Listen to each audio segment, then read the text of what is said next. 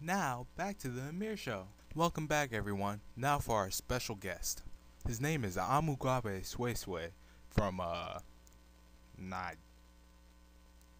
Nick, no. What, what does this say? Oh, Antilopia. Give him a round of applause. Boo.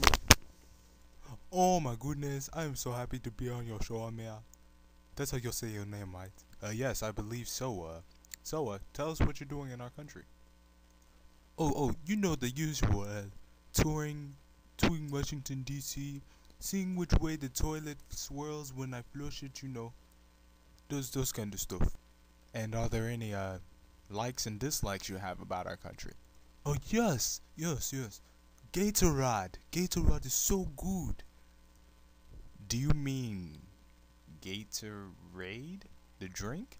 What is the meaning of this? It is spelled G A T O R A D E. That is that's how you say Gatorade, I think. Well, yeah, um, I'm I'm sorry to say this, but our language is not phonetic, and it seriously is pronounced Gatorade. I'll show you a commercial after the show's over if you want. Okay, fine, stupid Americans.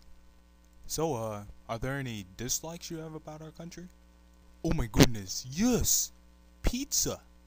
Do you know how constipated I was after eating all that cheese? I thought cheese would be good. This is messed up, man. Uh, yeah, cheese will do that to you, but I, I have to ask you, why did you just say man? Like, uh, are you Jamaican descent or something? Well, you see, back in Antilopia, saying man at the end of every sentence shows that you are gangster. Okay.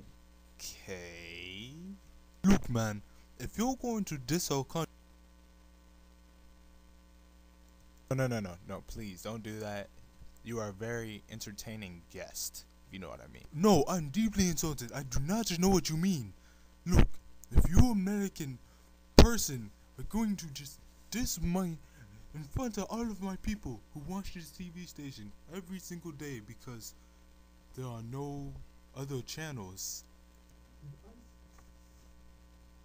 Then I say to you, dear sir, I am gone. Goodbye. My plane leaves tonight.